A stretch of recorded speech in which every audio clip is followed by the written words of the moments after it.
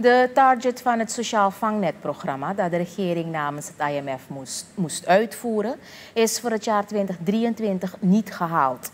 Karel Ekhorst, hoofdonderhandelaar Suriname in het IMF, gaf dit vanmiddag tijdens een informatiesessie voor de media door. Er moest in het afgelopen jaar bijkans 4 miljard SRD worden uitgegeven aan dit programma, wat niet is gedaan, zegt Ekhorst. Hij legde verder uit dat de regering een half miljard SRD minder heeft besteed aan het programma, wat ertoe heeft geleid dat de target niet, niet is gehaald.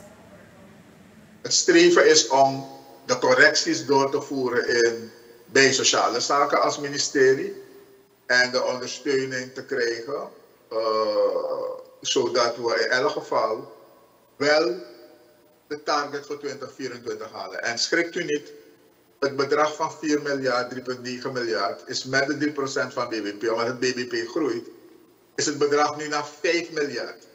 Dus het ministerie van Sociale Zaken, de regering heeft nu 5 miljard ter beschikking om uit te geven aan deze vier sociale programma's, de conventionele.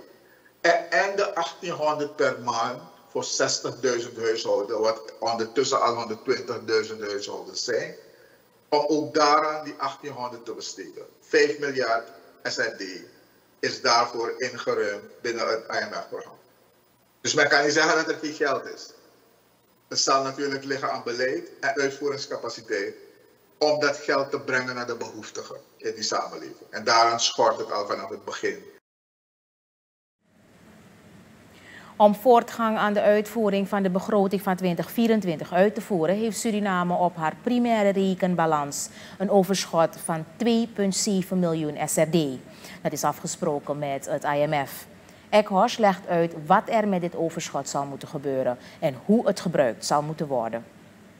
Dit overschot van 2,7% zal worden gebruikt voor kapitaalsuitgaven, dus in wegennet, infrastructuur. Het zal gebruikt worden voor uitgaven voor wat betreft sociaal, uh, onderwijs, volksgezondheid.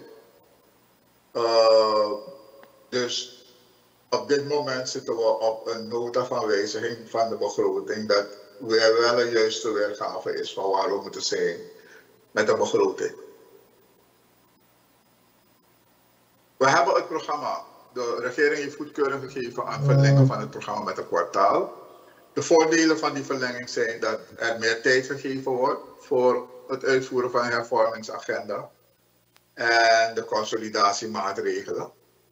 En het zorgt ook ervoor dat er geen opstapeling plaatsvindt. Dat we proberen alles dat we hebben verloren in dat jaar te drukken in één jaar. De vijfde beoordeling vanuit het IMF is de afronding en wordt verwacht in maart 2024.